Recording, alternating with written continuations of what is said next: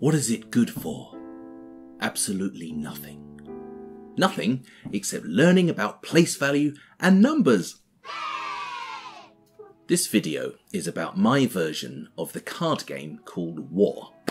It will help you to understand place value and to say and compare big numbers. Now I know this is all a little bit educational, but don't worry, I will go back to talking about poo and heavy metal next week.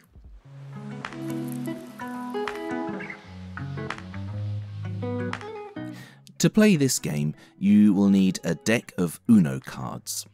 You can remove all of the special cards, so you just have numbers 0 to 9.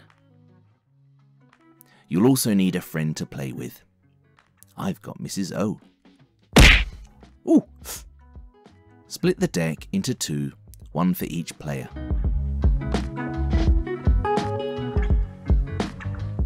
Level 1 The Basics.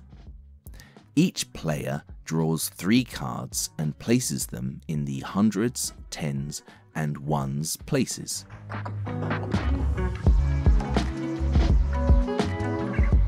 Turn over the cards, and whoever has the highest number wins and keeps all of the upturned cards.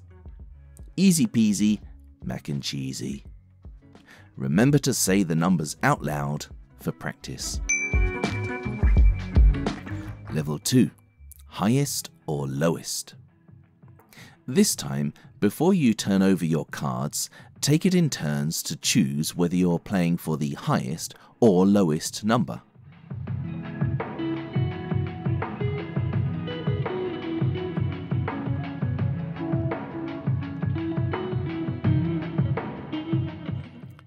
Level 3 Preview Once you have drawn your cards, the first player chooses who should turn over their cards first.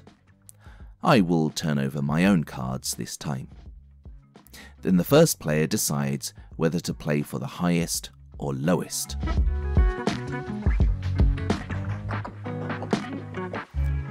You can strategize a bit here, depending on whether you think you've got a high or a low number.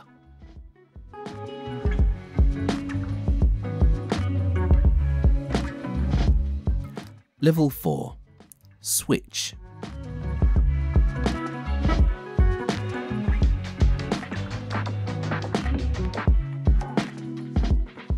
This is the same as the previous levels, but each player has the option to switch the places of two of their cards.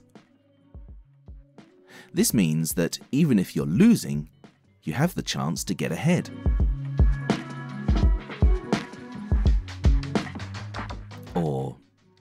Perhaps not. Level 5 Bigger Numbers This game can be played with bigger and bigger numbers. It's not just good maths practice, it's good for speaking too, as you say numbers like 123,456 or 987,654,321. If you don't have Uno cards, you can do this with regular playing cards. Just remove the tens, jacks, and kings, and use the queens for zeros. If you don't have regular playing cards, just create your own number cards. So, I hope you enjoyed that, and I uh, hope that you'll have a go at this game with your grown ups at home and learn a little bit about place value and, and big numbers and maybe war, but probably not. Probably not war because, well, it, it's not really got, not really very much to do with war at all, actually.